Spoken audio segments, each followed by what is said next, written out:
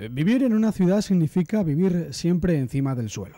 Las calles, las aceras, las avenidas presentan ya un aspecto cotidiano. Pero por debajo del asfalto, kilómetros de túneles laberínticos recorren como extrañas arterias una ciudad que necesita de la depuración.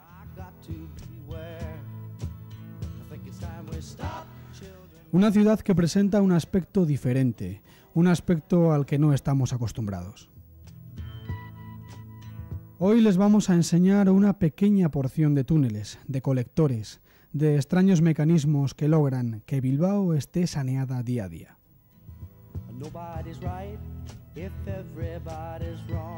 Vamos a realizar un auténtico viaje a las entrañas de la ciudad.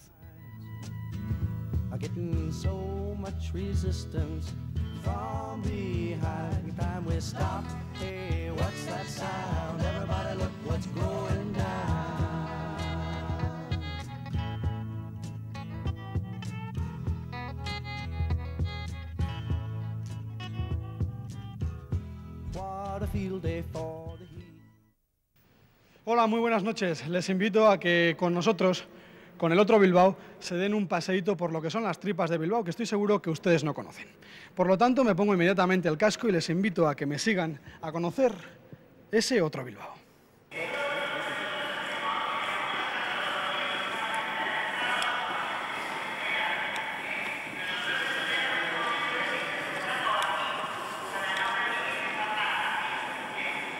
Cuéntanos un poquito cómo va a ir la obra ahora.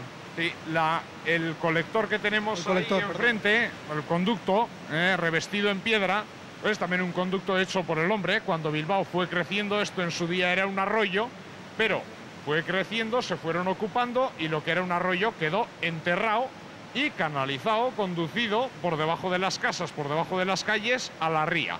Pero todo lo de esas casas que se iban construyendo se vertía directamente a la ría y eso es eh, lo que este colector, este tubo antiguo, que quedará ahora eh, pues prácticamente en desuso, eh, dejará de hacer.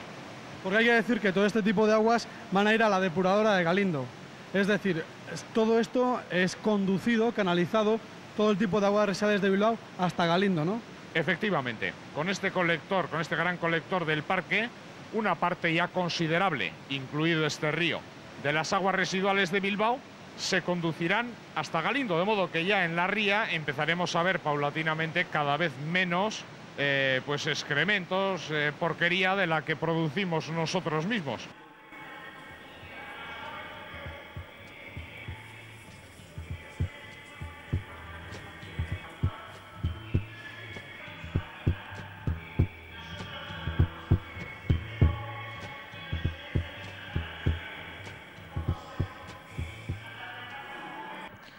Bueno, aquí concretamente lo que se produce es, por una parte, a través de estos tubos laterales, la incorporación del río Elguera, ese que veíamos anteriormente, llega hasta esta sala, hasta esta gran sala.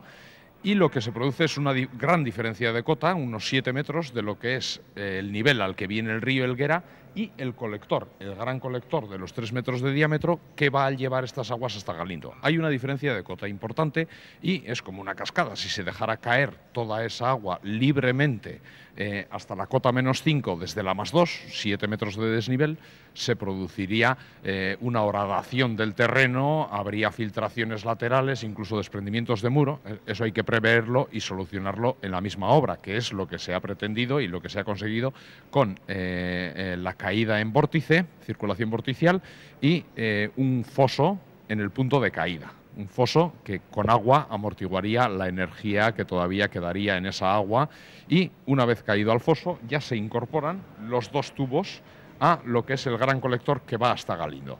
Y está preparado también este colector central menor, de menor diámetro, que en cuanto termine la obra del sifón de la universidad, el paso de lo que son las aguas residuales de la margen derecha a la izquierda, a través del sifón de la universidad, todas esas aguas vendrán y se incorporarán también eh, a este gran colector a través de este que vemos aquí, que está ya preparado para recibir lo que es eh, todo el agua de desecho que venga a través de ese sifón de la universidad. No, no, mal olor aquí va a haber. Yo creo que ahora mismo lo estamos notando un poquito, ¿no? Esto es, eh, como nosotros mismos, esto es parte de nuestra realidad. Esto es lo que va a ir por ahí, es también nuestro producto. Es lo que nosotros producimos y de alguna manera lo tenemos que asumir. ¿eh?